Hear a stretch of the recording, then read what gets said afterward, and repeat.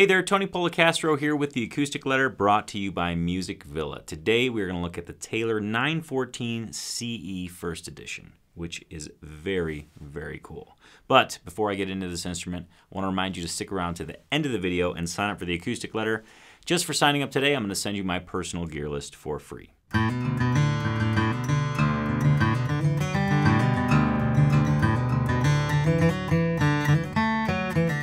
On to the newly redesigned Taylor 914 CE, and this one happens to be a first edition. I gotta be honest, I'm gonna just come right out and say it.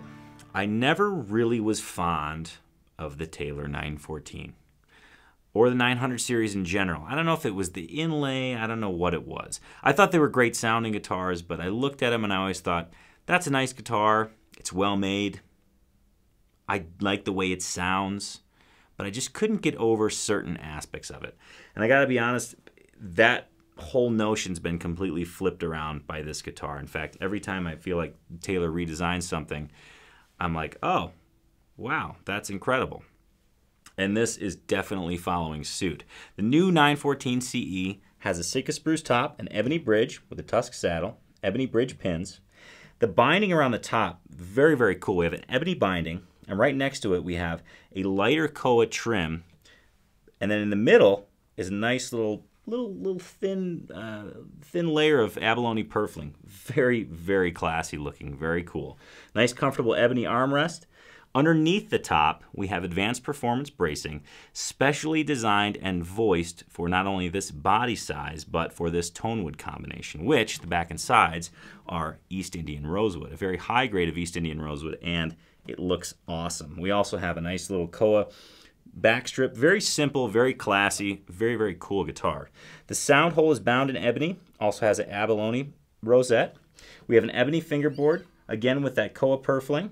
Really cool abalone inlay along the entire fingerboard. We have an inch and three quarter tusk nut Taylor style headstock with an ebony overlay, Taylor inlaid in the top. Gotoh 510 tuners, which are very, very smooth, very high ratio tuners. Very comfortable mahogany neck. The back of the peg head has an ebony backstrap, which is very classy, especially against those gold tuners. And it comes with the expression system 2 installed. Throughout this guitar, wherever there's really crucial wood to wood contact, the bridge to the top, the neck joint, protein glues are used. So this guitar is really designed for maximum tonal transfer, and I feel like it excels in that. So, without further ado, I'm going to give the Taylor 914 CE First Edition a play so you can hear what it sounds like.